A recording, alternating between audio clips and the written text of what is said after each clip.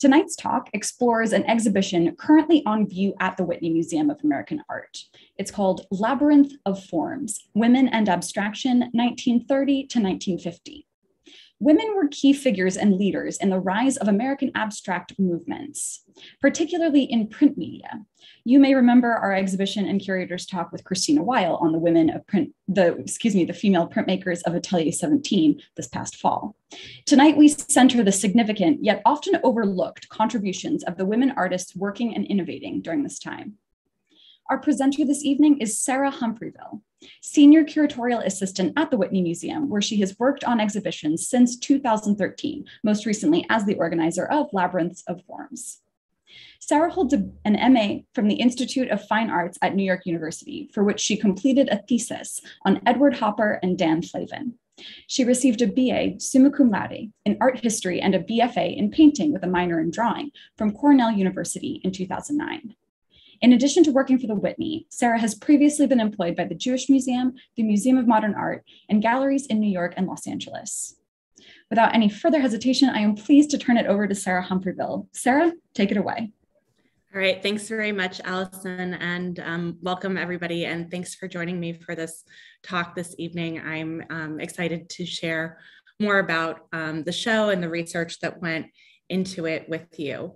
Um, so as Allison said, tonight's talk is um, based on the work that went into the current exhibition at the Whitney Labyrinth of Forms, Women in Abstraction, 1930 to 1950. Um, the exhibition is drawn from the Whitney's collection and features a little over 30 works by 27 female artists. It's on view until March 13th. So if you haven't yet had a chance to go to the museum and are in or find yourself in New York, I'd really encourage you to come. Um, the exhibition and tonight's talk will really um, explore the formal, conceptual, and technical impact that women had on the evolution of American abstraction in these two decades.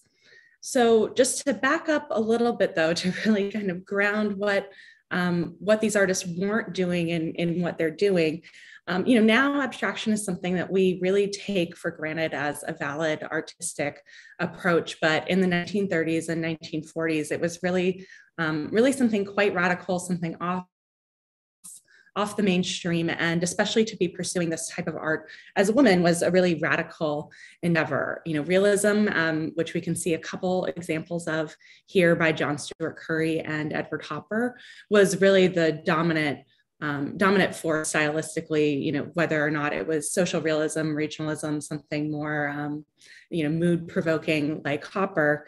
Um, but really that, that meant that the museums and galleries really largely ignored American abstract art.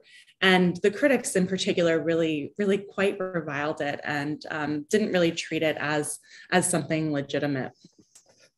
So for the women artists, they're you know they're entering this profession too that men really really dominate, and they have to contend with sexism and the era's era's societal expectations, in addition to these compounded layers of marginalization from being an abstract artist and being an American abstract artist. So there's really three things that are working against them and you know really within their professional realm oftentimes they weren't taken seriously by their by their male peers and counterparts. They as a result you know did things like you know signed their names or, or changed them even to um, disguise their gender identity. So we can see that in the detail on the left here of an irene rice pereira drawing where she leaves out her first name and just uses the initial I. And it wasn't that she, you know, completely hid the fact that she was a woman, but it did, you know, did kind of help a little bit.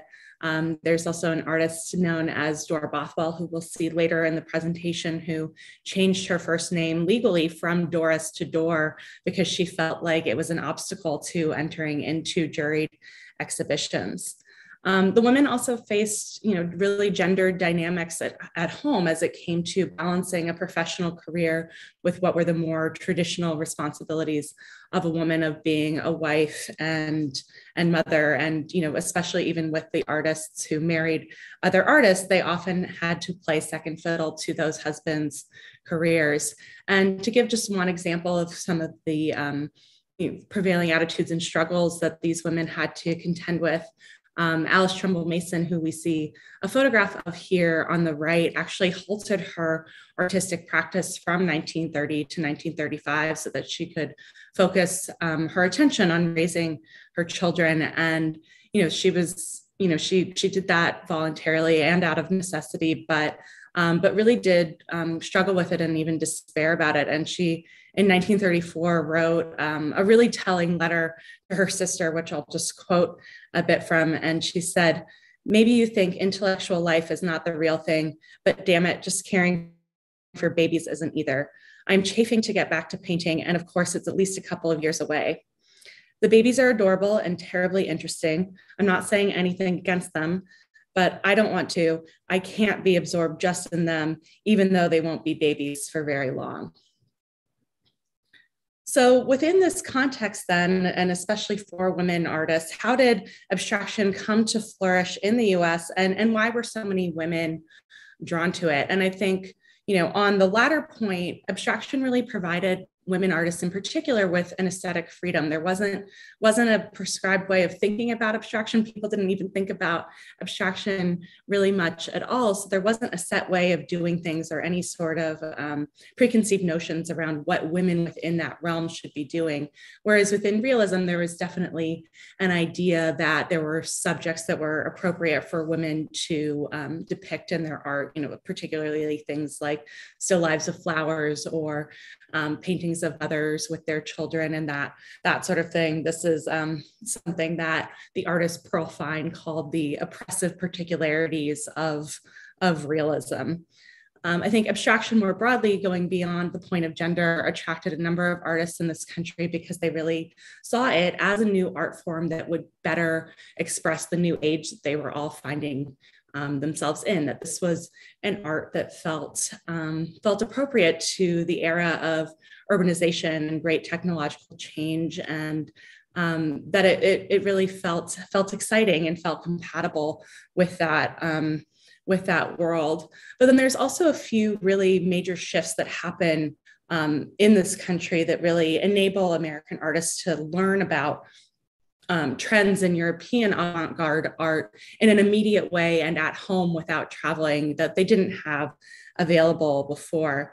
So there's a real shift in the cultural landscape in New York in the late 1920s as um, new spaces start to open up that are showing um, European modernism. So, you know, most famously, probably MoMA opens in 1929, and you see on the right here an installation view of their um, their inaugural exhibition on Cezanne, Gauguin, Seurat, and Van Gogh. And then the um, Gallatin, A.E. Gallatin's Gallery of Living Art opened at NYU just a couple years before that in 1927. And that space, I think, held particular importance because of its location in Greenwich Village. It's near where a lot of the artists could live. Um, but Gallatin, who himself was also an artist as well as an, a collector and patron, also really understood the needs of artists and that they, you know, weren't necessarily going to be able to make it to the galleries during regular hours. And so he'd sometimes keep the space open until 10 p.m. to ensure that um, the community of artists local to the area could come in and, and learn about what, um, what was going on in Europe and what he was collecting. And then the final um, organization that opens during this period is the Société Anonyme, which was founded by Man Ray and Marcel Duchamp and Katherine Dreier in 1920. And they had permanent spaces at some point, but um, but really they were known for having exhibitions at a variety of different spaces in New York as well as elsewhere. And you see on the left here um, an installation shot from probably their most important show, which was held at the Brooklyn Museum in 1926 and featured, um, you know, artists from all across Europe working in a variety of different styles. Um, the Societe also organized lectures and did writings, and really Katherine Dreier is the driving force behind this group. Man Ray really wasn't too involved after its founding, and, and Duchamp's um, daily involvement in the group kind of petered out after about a year. And so, within all these contexts, too, I think one important thing to keep in mind is that um, unlike being in Europe as if they had been had been there for decades and are kind of seeing one trend come after another, one movement come after another, American artists are confronting all of this art at the same time. So they're kind of um, exposed to decades worth of modernism all at once. And I think that has the effect of them then, you know, individually kind of taking taking what's useful and what appeals to them um, from a variety of different sources and then incorporating it into their own practices and really um, figuring out what is most useful to them and what will best um, kind of convert what they have seen into something that is more appropriate to American art. So as I mentioned, Katherine Dreier was one of the co-founders and the, the main, um, main force behind the Société Anonyme, but she, like A. Gallatin, was also an artist. And um, part of her, you know, her real drive to establish the Société Anonyme and engage with its activities was that she saw the quote urgent need in the art world for people to acquaint themselves with the latest movements in modern painting and sculpture. So, you know, she really, she really gets that um, that not that there's not just a desire or curiosity, but a real need for American artists to understand what is being done across the Atlantic in order for them to really best situate themselves within a broader international conversation. And, and that was something that she was um, very much engaged in. And as an artist, Dreier had, um, you know, had had a lot of training, including in Europe. She initially began by making um, works that were quite reminiscent of Whistler, but by 1918, she had started working abstractly. Um, she was informed by a lot of the European artists that she collected and knew. Um, Kandinsky was probably the most important influence on her work, but, but really for that first decade that she's working abstractly from 1918 until 1929, she's, she's still kind of figuring things out. And then by 1929, she really kind of enters her own and starts making what we would call um, her mature work. And I think part of that is actually that she has more time to devote to her artwork when her finances take a bit of a downturn with the arrival of the Great Depression. Um, you know, she was still still well off and, and comfortable and, and everything like that, but didn't have quite as much capital to invest into exhibition making and art collecting. But that in turn gave her time to really focus on what she was doing. And one of the works that is um, that she makes, you know, shortly after arriving at her mature style is a portfolio of prints called 40 Variations, which this is an example from. And it's a kind of strange approach to making a print. You know, we think of printmaking oftentimes as being something really well suited to reproduction and, and being about that kind of idea of exact replication. And Dreier really turned that on its head with these, with these works. So it's a lithograph combined with watercolor. And each print in the series uses the lithograph as the basis, uh, the sort of armature of the, of the print, and that those black lines that you see are, are lithographs. But then each one she went back into with primary colors in watercolor, and each print within the series became a variation so that the placement of those colors would be different from print to print or even the proportions of you know that yellow stripe in the center um, in the large circle would be different from print to print. So she's really um, you know really having fun with it and really playing with um, with that idea of printmaking being just about reproduci- re- reproducibility and really taking a creative approach to it. And that concept of the print sort of expanding beyond it. And it's important that it's also lithograph expanding beyond that was really seen as a commercial medium at this time. Um, she actually inspires um, friends and fellow artists to then think about her print within the context of their own medium. And her friend Ted Shawn choreographed a dance to um, inspired by the print. And you can see an example of another variation blown up here when the dance was performed in 1939. And then another friend, um, Jess Meeker, composed a score to go with it. And you can see too um, here how the dancers' costumes are also inspired by the formal language in her, in her work. So at the same time that these new venues for abstraction are opening, um, avant-garde minded teachers also come to teach in New York's art schools. And um, that might be familiar to this audience in particular tonight, since the Art Students League was one of the key places where this was happening. And the teachers, Jan Matulka, Vaclav Vytlacil, who you see here on the left, and Hans Hofmann, who you see in the right, all came to teach the league between 1928 and 1932. Um, Arshile Gorky, who um, may be familiar to people through his later abstract expressionist work, also was teaching at the Grand Central School of Art at this time. He was there from 1926 to 31. He also spent a lot of time just kind of socializing and flitting about the league and making his presence um, felt there. And then Hofmann also set up his own school in New York in 1934 and in Provincetown in 1935. And these teachers are really um, teaching formal modern art principles really for the first first time and teaching people not just how to make something how to replicate from life but also really how to think as an artist so to just show one example of how we see that um, that educational um, background impacting somebody's work, we can look to this drawing um, of oil on paper called Still Life by Lee Krasner. Um, Krasner had studied at a variety of schools in New York, including the Art Students League. Um, but then in 1937 started taking classes with Hans Hofmann at his, um, at his own school. And one of the things that Hofmann really um, emphasized in his teaching was the importance of negative space. And you know, I think that's something that even people who are not um, who are not artists, who aren't, you know, even really ever taking an art class, certainly have an idea of, of what that is, and and uh, you know, could even come up with a basic definition. But it was a really kind of radical concept for that time. And you know, Hofmann emphasized the pushing and pulling of shapes um, within that negative space and against each other. And that's an idea that Krasner really took and ran with, and which we see so beautifully executed in this work. And, you know, were it not for the title Still Life, I think we'd consider this, you know, something that was even really pure abstraction. And, and this work is certainly much more abstract than the art that Hofmann was making at this time.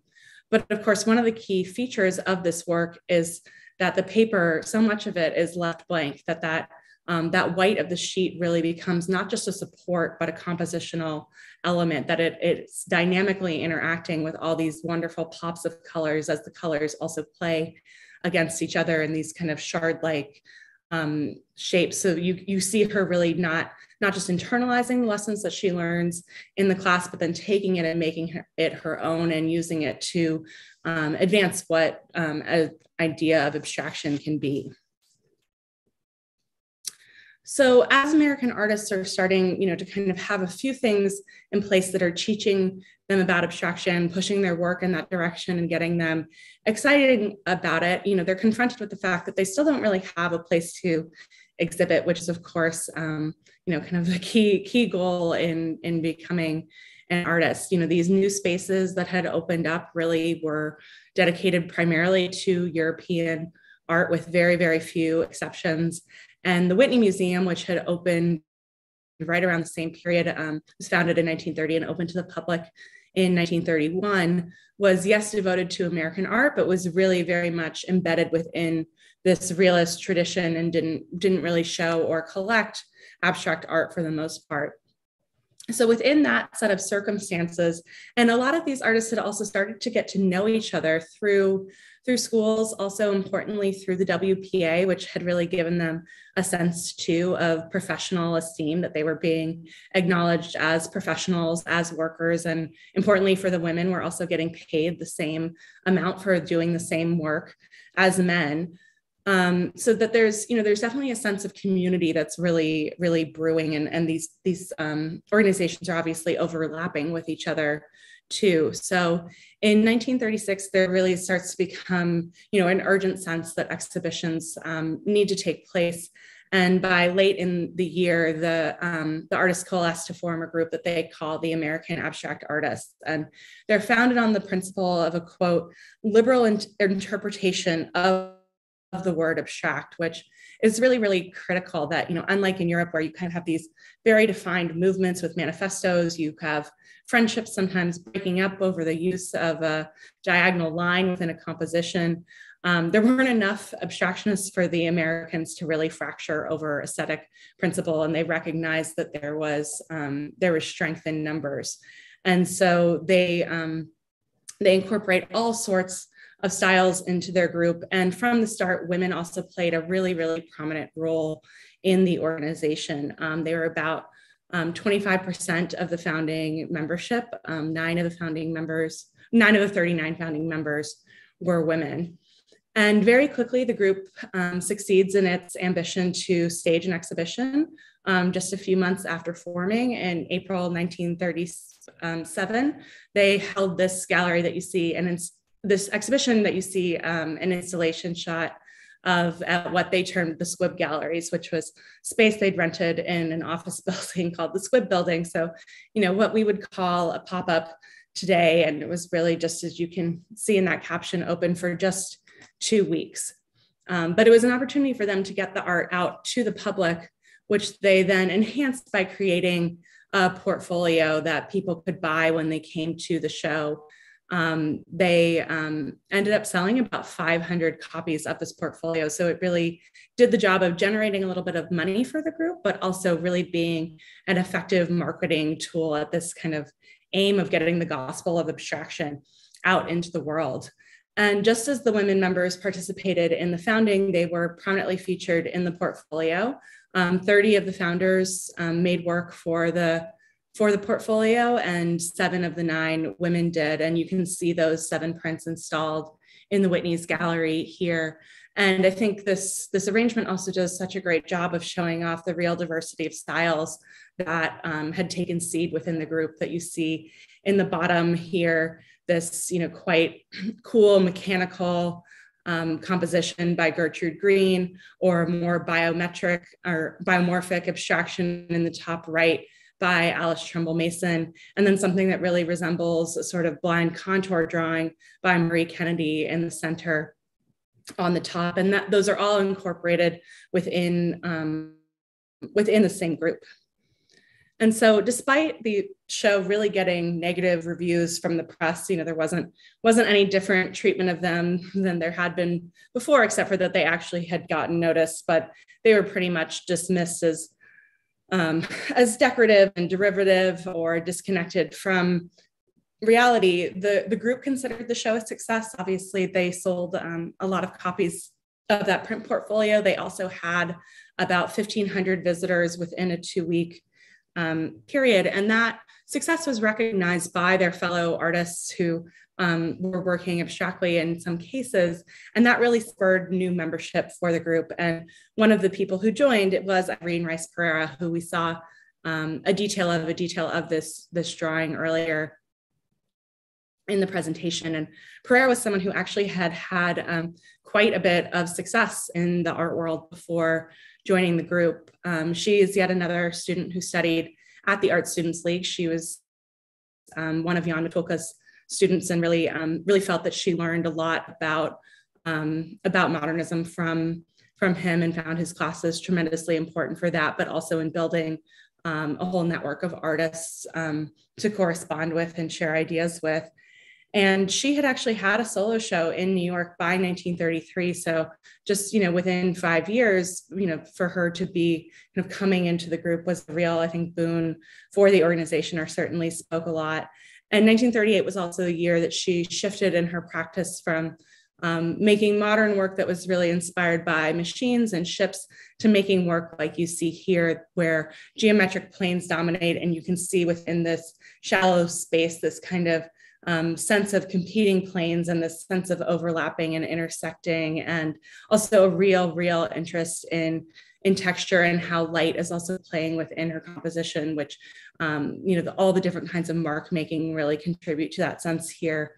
And in her painting practice, she was actually using a whole variety of different materials, um, some of them quite experimental and very unusual to have in fine art, but they really helped her um, think about her ideas about the relationship between time and space and light. And she actually said that space time was her medium. Another artist who joined the group a few years after its founding was Charmian von Wiegand. And we see, um, see an early drawing from her here. She's um, probably better known for her more grid-like compositions from the mid 1940s on, which were really inspired by Mondrian. But in the um, time period that she had met Mondrian, she actually felt like meeting him was so impactful that she needed to kind of take a beat with her painting. But she continued her drawing practice and did automatic drawings like these ones and would do hundreds of them, but then pick out certain ones for further development with gouache and collage elements. Um, but like Katherine Dreier, um, von Wiegand wore a number of hats within the art world. So she too was not just an artist, but she was also a writer.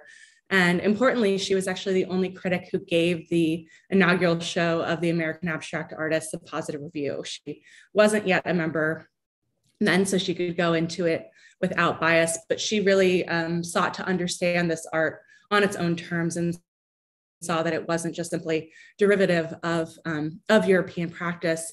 And as her writing continued throughout the, um, throughout the 30s and into the early 40s, she's really one of the people um, laying the foundation for the fact that abstraction can be a political act and is really helping to get um, the idea of a Marxist approach to art history set up. And and her writing um, is really then preparing american audiences to start understanding and therefore accepting abstraction. And her work alongside the continual annual exhibitions of the american abstract artists which start to also be accompanied by um, by catalogs that they called yearbooks. And and women importantly were contributors to these to these catalogs. Um, that really begins to to spark a change with how abstraction is being received here. And even critics that had been against abstraction before at least um, at least acknowledged that abstraction was here to you know was here to stay as the new york times critic said he said you know it wasn't just a flash in the pan and you start to get a younger generation of arts writers too who are more willing to engage with this material the 1940s also see a number of additional spaces um, open to modern art opening. So the Museum of Non-Objective Painting, which becomes the Guggenheim, opens. You also see galleries like the Nierendorf Gallery and Pinacotheca, the Willard Gallery, Betty Parsons, which is probably the best known today. Um, certain venues that are really dedicated to prints in particular, like Wittenborn and Schultz. And then, of course, um, Peggy Guggenheim's Art of this Century, which you see a photograph of the Abstract Gallery um, here. And, and Peggy Guggenheim also importantly devoted a couple shows just to women artists in 1943 and 1945. So did, you know, did recognize their, voices even as she, you know, kind of um, awkwardly tread into that terrain. But ironically, even within this context of a more um, a more broad acceptance of abstraction, or at least a growing acceptance of when the influence of the American abstract artists began to wane. I think some of it is that there's, you know, more, more voices out there, but there also began to be a perception that their approach, rather than being this liberal interpretation of the word abstract, had actually become quite dogmatic. And by the mid 40s, the group was really associated with a kind of cool, rigid, geometric approach. And that, that drove certain members away from the group, including some of the founders. But the larger community of artists really remained um, committed to an experimental approach to abstraction, to pursuing a variety of techniques and styles. And among the places where these communities of abstraction flourished was Atelier 17, which, as Allison mentioned, the Art Students League just hosted a really wonderful exhibition about the relationship between the League and Atelier 17. Um, and women um, at Atelier 17 were also a really important force, just as they had been um, in the American abstract artists. And there's certainly a lot of overlap between these two groups, just as there had been between the educational networks and the WPA and the American abstract artists. So um, just to back up a little bit, Atelier 17 is a print shop that first opened in Paris in the late 1920s, but with the outbreak of war came to New York in 1940 and operated here for 15 years from 1940 to 1955. And it was really a kind of laboratory for formal and technical experimentation and really introduced the idea of what a modern print could be to the United States. Um, it specialized in intaglio, which is a you know, kind of broad category of printmaking in which someone is um, carving into a plate or incising into it. Intaglio Italian actually means um, means carving. And they're really thinking about what the boundaries of intaglio can be and working on expanding it. And, and that kind of technical expansion married with formal innovation is kind of what leads us to this idea of a modern print.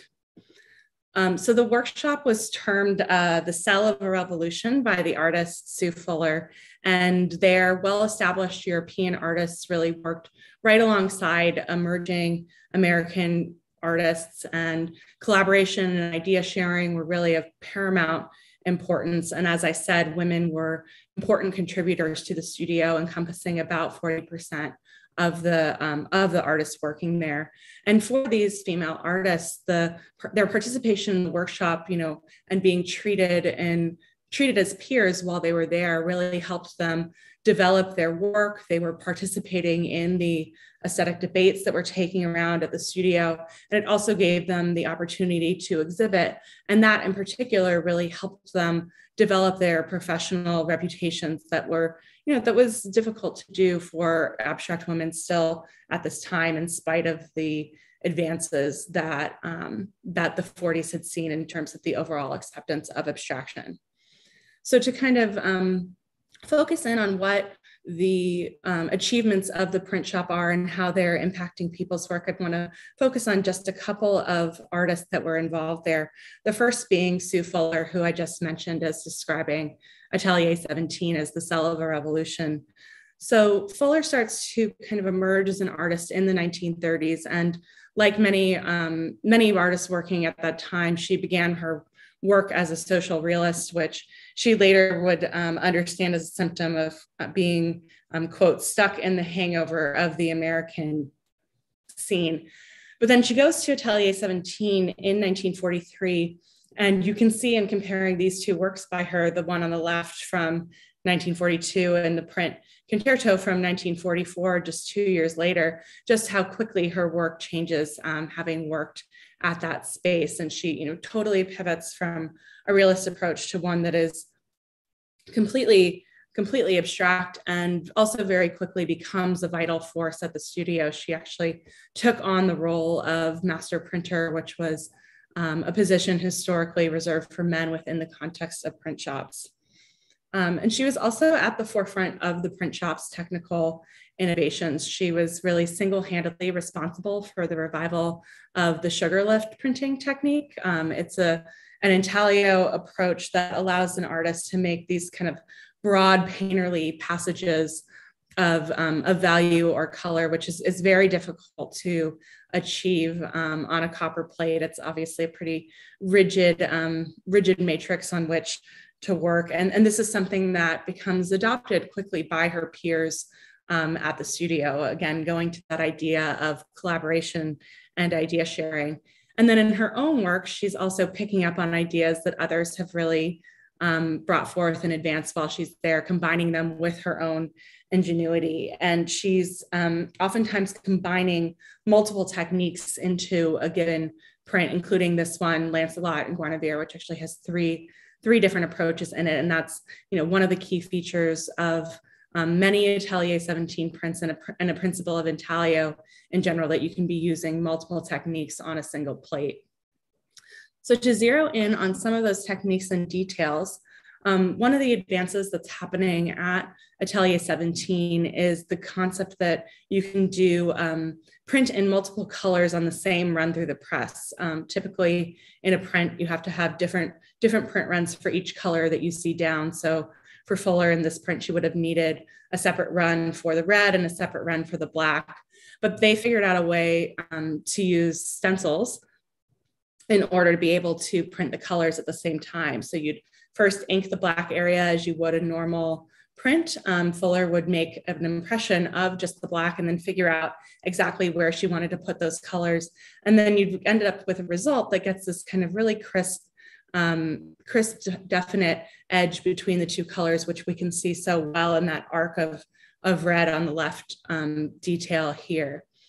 Um, another technique that was really forwarded by the studio was um, to think about the sculptural applications of embossing. So, you know, this is embossing in a fine art sense, not in an, um, you know, fancy imitation sort of sense, but you can see in the detail on the right an embossed passage really well and that sort of um, bean shape of brighter white in the center. And when you see the print in person, you see that that area isn't just brighter, but that it's actually raised. And Fuller achieved this in this print by using a technique that the studio really figured out that if you um, carved into your plate um, deeply enough, it wouldn't, uh, and widely enough, it wouldn't really hold ink when you um, when you put the black ink over the surface and then you know carefully clean it out. But then when the paper, which is wet, an intaglio process would go through the press, the pressure of the press would um, make it so the paper would go down into that groove and then you'd get this sculptural form rising up.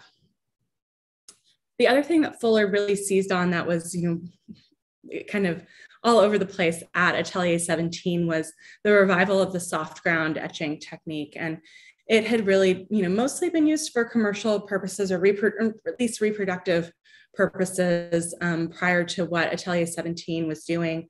Um, in soft ground versus traditional etching, you have a much more malleable, sticky base that you're drawing into, which made it easy to reproduce drawings through because you could more, um, more easily make a mark. But at Atelier 17, they started, you know, really making this an experimental approach. You know, what can you put into this surface to to make a work of art. And for Fuller, um, she used string and various forms of fabric, particularly lace, to make her designs, which we can see here. So she kind of sets up this um, network of string and then combines lace into it, pulling on that lace so that it's not just um, not just working as you know i pulled this out of the drawer and here it goes but really is almost drawing with that that fabric as she pulls on the holes and sets up her design and, and is doing that to really achieve an overall abstract effect. And then when this this is all over the surface of the work that really creates an overall lively energized composition that goes from the edge to edge. So fuller um, as she's engaging with soft ground actually kind of comes up with her own technique to um, executing it where she would make a wooden frame and then as you can see on the left would actually stretch her strings and ribbons and lace over it. So that it's all um, kind of a taut design that she has control over and then she could just apply that frame down onto the soft ground. And in this example we see on the right um, the print that results in part from that that impression of the of the structure in the wooden frame and Fuller really became so engaged with this system that she actually evolved these fabric apparatuses into sculptures um, by 1945 that she came to call um, string compositions. And these are the works that she's largely known for, but they really directly involved out of her print practice and out of the work that she'd done at Atelier 17.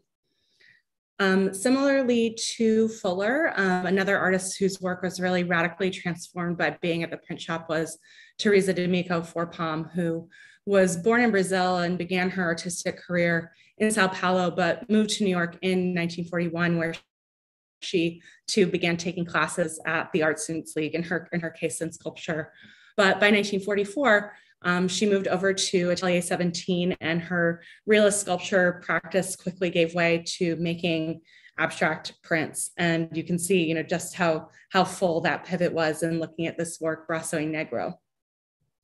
And like her Atelier 17 peers, she was often combining multiple techniques into a single print. So in this detail on the left, we can see in the, um, the kind of thin black lines on the bottom that those are engraved lines. We also see in the background here in that um, that kind of netted texture and those stripes, her use of both soft ground and aquatint. And then of course, in this black form, we see her taking on this embossing um, strategy that we just saw in Fuller. But um, Fourpome actually takes it a step further. And then once, um, once she's gone um, and made her made her design, she's actually going back in and making sure that those um, those deep passages are getting ink on them. So she's forcing ink into those deep grooves that typically would have been left alone, so that she gets a raised black line rather than a raised white line. So taking that experimentation one step further. And then in the detail on the right, you see her using yet another technique to achieve a 3D effect. And here she's using open bite etching, which is a technique where a whole area, big area, broad area of the plate is left open to be etched by acid. And that um, you know such a corrosive effect that you again get these really really deep grooves that have trouble holding on to ink but also a bit of an element of chance what you see in those those bubbles with how the acid interacts with the metal and Fourpome was really seen as um, being at the forefront of achievement in the sculptural applications of intaglio by her peers. And actually, the founder of the print shop, Stanley William Hayter, um, singled her out for achievement in this way when he um, wrote a, an important book on intaglio strategies in the mid 1940s.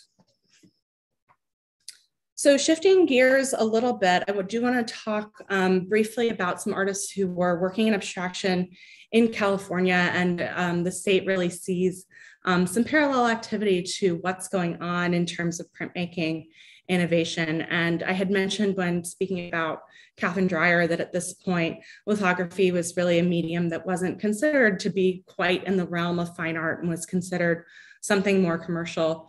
But in Los Angeles, um, the printmaker Lynton Kistler, who was a commercial lithographer, really had made an effort to get artists um, working in lithography in a fine art capacity. And among them are Elise, who you see on the right, and June Wayne. Um, Elise is one of the first artists on the West Coast to really be embracing non-objective abstraction as we can see in this work. So that's um, you know pure abstraction, not based on nature or the real world at all. And then June Wayne, who we see on the left, had um, very similar um, conceptual ideas to Irene Rice Pereira, and like her, was really interested in the relationship between time and space and light, and did a lot of investigation into optics, which um, was inspired by the experience of going through um, a tunnel in a freeway and seeing um, lights, headlights coming at you from the opposite directions. So that that directly inspired this work, Black Ball in a Room, from 1948. And Wayne, crucially, also would become the founder of the Tamarind Workshop, which is, of course, one of the places that really ushers in a new, um, a new print renaissance in the US, particularly for lithography in the 1960s and beyond. Kind of similar effort was made for on behalf of Screenprint by Dorr Bothwell, who worked in the Bay Area. And Screenprint too, was something that was really, um, really regarded as commercial, looked down upon within fine art contexts, but um, Bothwell happened to see an exhibition in 1943 of fine art screen prints that had been made under the auspices of the WPA um, in New York and was just totally blown away by the medium and its possibilities. And she didn't have any place to learn it on the West Coast. So she figured out um, how to teach it to herself and, um, and did so, and then really dedicated herself to the medium alongside painting um, from 1943 on and um, including this work, which you can see is you know quite layered with a number of colors. So not just taking screen print as um, you know something that you can do something very simply with, but is also really pushing at the boundaries of what that media can be. And I want to um, conclude with a quote by Bothwell describing herself that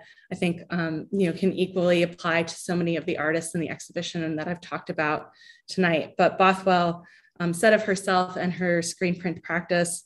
I was on the cutting edge. At one point, I was the only woman in Northern California doing this. This fits with myself and being an innovative person. And um, innovative she was, and innovative were um, all of these artists. So, with that, I'm going to stop sharing my screen and welcome Lauren back so that we can answer um, answer some of your questions. And thanks, everyone. Right, thank you so much, Sarah. Really excited to jump in with some audience questions here. Um, a really interesting conversations come up in the chat. We have a couple people tuning in to say they had no idea printmaking was such a key medium in abstraction. Um, as you mentioned, Sarah, we associate printmaking with realism for a lot of its history. Um, so I'm curious if you can speak a little bit more on printmaking's significance to uh, abstract art.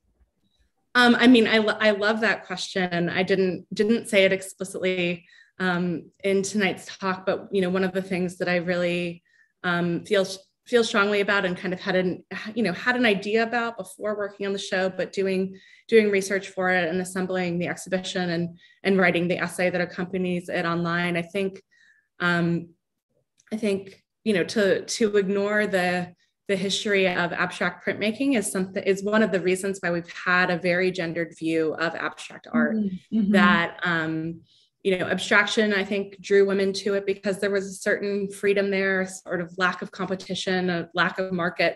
Um, you know, those go hand in hand, but um, but printmaking, likewise, there really wasn't any market for modern prints, and therefore no competition, et cetera. So I think that you know that adds on another layer to it, but also but also makes it perhaps a place where women are are given entry and, and permitted to sort of exist and work. And and that continued even even through the 50s once you kind of get the sort of um, established market and appetite for abstract expressionism. And um, you know many a number of the male artists you know, big names that we um, that we know um, did make prints at atelier 17 but i think you know it's it's by and large not those artists who are making the most um, inventive or original or interesting work that's happening there. So I mean, I think, um, you know, I think we're kind of in a broader moment of reevaluating the position of women within the history of abstraction, and that um, as part and parcel of that, we also need to um, need to reconsider the importance of printmaking to um, abstract and modern practice in this country too. Yeah, this I'm finding this such an interesting intersection, knowing that printmaking has been largely obscured in this abstract art world, and as well women artists working in these movements are also obscured by art history. And I'm thinking back to Christina Weyl's exhibition here at the League from a couple months ago. Um, and those of you who haven't tuned into to Christina's lecture as well, it's a really fun supplement to the topics that Sarah shared with us tonight. Um, but thinking back to Christina's work with uh, Atelier 17 and women printmakers, it's so striking and auspicious to me to think that our two organizations have hosted exhibitions so recently on largely the work of female printmakers, specifically in in this era. So I'm curious if there's anything else that you would attribute that particular connection to. Why is now the moment to be sharing these works?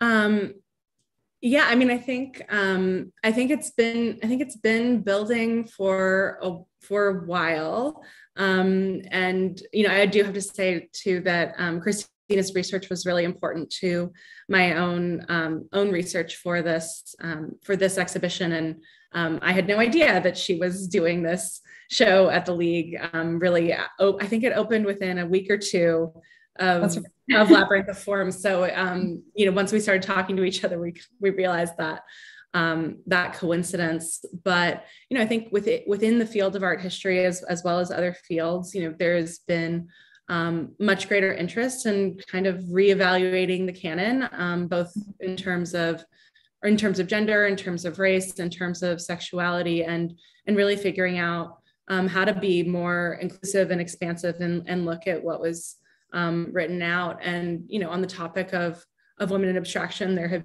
been, I think, a number of really great um, shows and books. You know, Ninth Street Women by Mary Gabriel was, um, you know, came out a few years ago and was really um, also a wonderful resource, but you know, was really popular and um, the Denver Art Museum held a show on women in abstraction and or women in abstract expressionism. We've seen retrospectives at the Barbican of Lee Krasner. Um, but one, you know, one thing that I I really wanted to engage with was kind of say, okay, but what happened before abstract expressionism? We're getting a lot of attention there, but that didn't just come from from nothing. And you know, what I hope um, tonight's talk and what the show does um, in part is also to really um, understand how American abstraction in the 30s and 40s, and particularly the early 40s, really does help set the stage for the acceptance of abstract expressionism, and that women are really critical to that that history. But yeah, I think if I think it fits within a broader um, a broader art historical project that's not certainly not specific to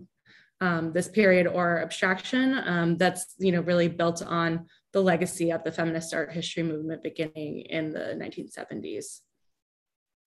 Oh, thank you. It's so helpful to fill in some of those those question marks there.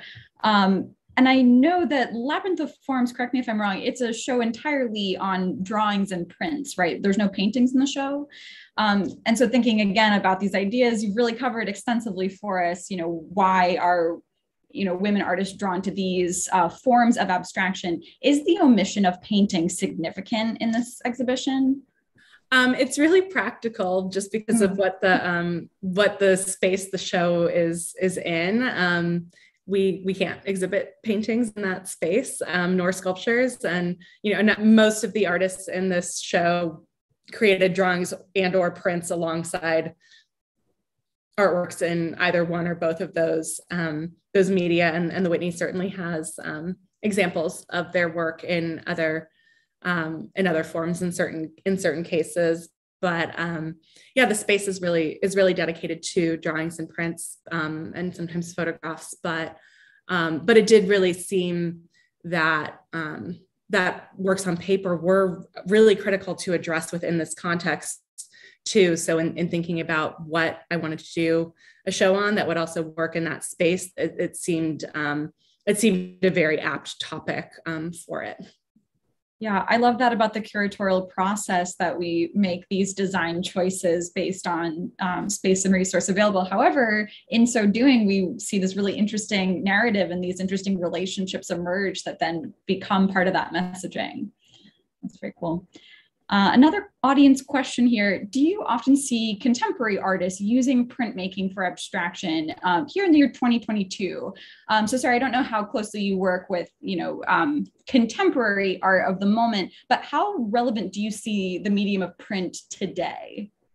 Yeah, so I mean, I I actually work. Um, one of the hats that I wear at the Whitney is that I work with our drawing and print acquisition committee. So I am working with our um, our collection in those two media from 1900, really when the Whitney's collection kicks off, up through the present day. So um, I'm definitely engaged in that material, and I think there's a lot of really exciting work being done in abstract printmaking and um, you know that that like the artists in this show um, you know they're not necessarily only printmakers but um, you know thinking about but they're you know they're not just like necessarily making a print just to make a print either that if you think about people like um, Sarah Sze or Charline von Heyl um, or julie Mehretu, you know those are those are artists who are all um, making work in other media but also making um, making work in print. And I think in thinking about Julie's work in particular, and you know, I loved that the Whitney show that was recently held um, really showcased this. That you you really see a dialogue between printmaking practice and painting practice, and that there's mm. you know kind of um, sense of excavation and and mutual um, informing that happens happens there. So yeah, I think there's a lot of um, of really vital um, abstract printmaking um, being done by by women and and men as well, and and also non-binary artists. I'm going to shift slightly into um, a question about your own scholarship. Um, for those of us tuning in who may be emerging researchers, uh, knowing that you did some academic work and wrote your thesis um, in part on Hopper, I'm curious how you found yourself transitioning from um, American realism into uh, what is now a focus on abstraction, or is that just for this particular exhibition for now? yeah i don't i don't really see um, there necessarily being a, a real divide between uh, thinking about realism and, and thinking about um, abstraction and you know other other exhibitions that i've worked on at the whitney mm-hmm. have been um, have been grounded in realism and, and abstraction both i've done a lot of work on the 1930s yeah. um, so certainly hopper is is part of of that. Um, I, I really actually started in graduate school um, with a much more contemporary focus. The first first paper I wrote was on Christian Marclay's clock, so I um, have transitioned from contemporary video um, to you know 19, 1930s prints. Um, but um, but you know I think I think the idea of how to approach each work on its individual terms think about it in the context of that time you know that that carries over. But um, but certainly i've become you know more of a historian than a contemporary scholar. And um, but you know I, I was one of the organizers of the Vida Americana show which was pretty much all almost all realist work although pollock um, early pollock works were in there. Some Siqueiros's work is more abstract. Um, i also was one of the organizers of the grant wood show which is you know, really the antithesis of what you see here. Um, but before that, I was working on Stuart Davis, who was one of the real um, champions of abstract practice in the 30s. So, um, you know, I think this show grew out of really an understanding, a deep understanding of the of the period and and what was going on with it, as well as you know an understanding that there is um, a lot of work to be done on this on this topic that has been neglected and and also thinking about what you know what i want to see and what i can bring um, to and I've, I've certainly held um, a deep interest in in historical women artists for a long time yeah that's a really exciting approach just to let ourselves be kind of governed by the, the zeitgeist and, and see how many and how diverse work is um, that's all happening in the same decade or few decades. Um, I'm going to end with a, a, audience question that kind of takes us back to the beginning of this conversation, uh, returning to this idea of how surprised and delighted uh, a lot of us tuning in are to learn of these works, um, these print abstract works that we're not so familiar with, um, have these prints been made into a book that is available anywhere? Um, I'll jump into that and say, um, what are some resources you might suggest uh, where people can go to kind of continue learning more about this?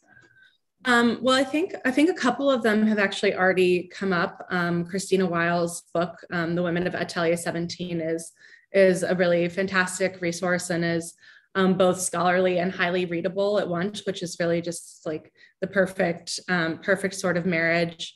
Um, Mary Gabriel's book is really more focused on on painting, but is certainly um, a really um, a really great source of of learning not just about these artists' work, but really about their lives and the kind of um, the social milieu of of the day and, and the networks that were involved.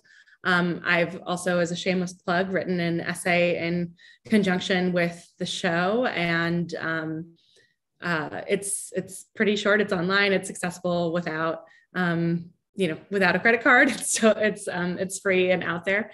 Um, and you know, there's obviously citations in there. I mean, I, I did read, I will say, a lot of oral histories of you know historical um, historical reviews that are a paragraph long um, dissertations and that sort of thing. Um, I would say, you know, as a final, Susan Larsen is a real um, scholar on the American abstract artists. Um, uh, she wrote a really fantastic dissertation, which um, you know, it's not like it's readily available, but um, also has contributed to various exhibition catalogs um, over the years. So I think, you know, seeking out her work is helpful, but um, but yeah, the, the show is really a marriage of a lot of um, a lot of different things, and also really looking into the the prints and drawings of people that are largely considered painters too. Mm-hmm.